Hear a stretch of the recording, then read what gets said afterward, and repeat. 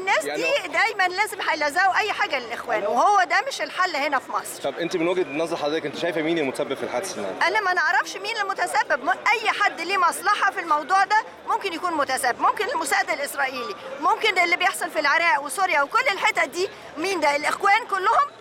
لازم في أمريكا داخلة والإسرائيل داخلين والإخوان داخلين أي حد داخل. إحنا المهم أهم حاجة إن إحنا نصوب غضبنا على اللي عمل كده فعلا. مش أي حاجة الإخوان الإخوان الإخوان.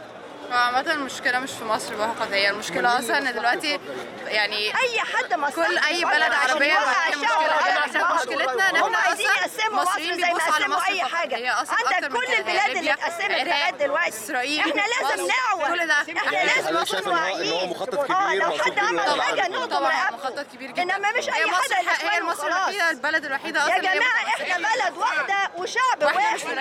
مش إحنا مش واعيين. هم لو فرقونا عن بعض يا جماعة إحنا هنقع مع بعض.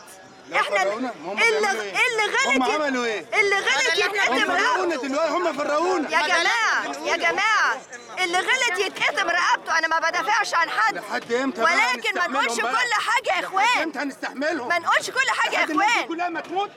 لحد الناس دي ما تموت كلها نستحملهم؟ إحنا بقينا إحنا بقينا 30 سنه ويعمل مصيرة. بقينا 30 الإخوان سنة. ما الصح ما ينزلش ويعمل مصيرة. ما إحنا ما نعرفش مين اللي عمل. كده ما نعرفش كل ده مين اللي عمل كده.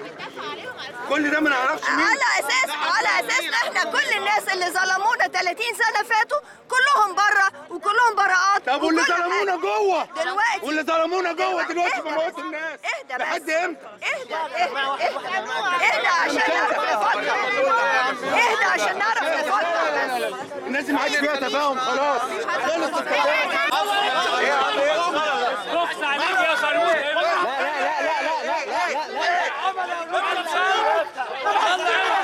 يا ولاد الكلب يلا يا خوارج العمير هو ده ايده في الحته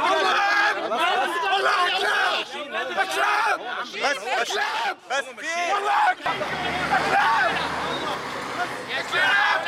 خلاص هم ماشيين ما تصورش حاجة خلاص كده.